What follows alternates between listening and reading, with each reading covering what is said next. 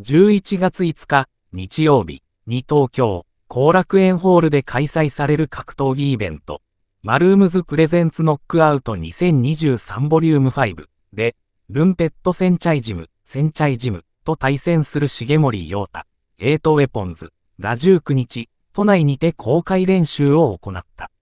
この試合は、オープンフィンガーグローブ、イカオブ、使用による RED、肘あり、ルール。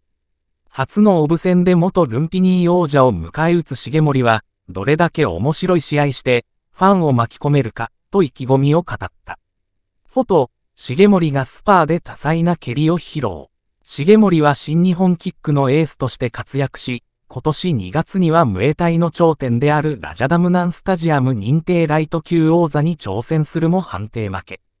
今年8月の前戦でも、バットマン王。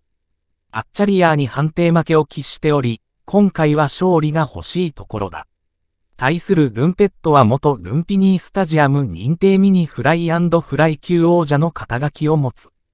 公開練習では鈴木千尋、深しとオブをつけてそれぞれ2分間のスパーリング。ミドルキックを中心に、ハイや膝蹴りなど多彩な技を繰り出し、テクニックを見せつけた。重森は公開練習後のインタビューで、今回初めてのオブマッチなんですけど、ここで一気にオブマッチとムエタイが流行ってくれればいいなと思って、大会を盛り上げるために出場します、と意気込み。相手の印象を、首、相撲がすごく強い選手なので、オブになると余計ロックとかがしっかりできるので、そこは気をつけなきゃいけないと思ってます。あとパンチも振ってくるんじゃないかと思ってるので、そういった前に出る圧力とかは警戒してます、と警戒してる点を挙げた。前戦からの修正や練習での手応えを尋ねると、一個一個細かいとこ分解して、足りなかったところは、試合が終わってすぐ対策をやりました。なので不安はないです。しっかりと課題とクリアした上で次の試合に向かってます、と自信を覗かせる。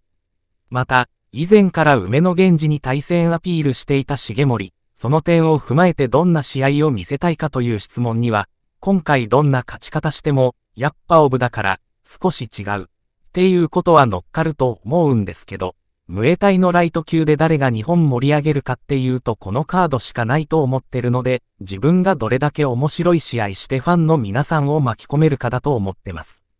なので、ファンに楽しみにしてもらえる選手にならないといけないと思って、試合に臨みます、と語った。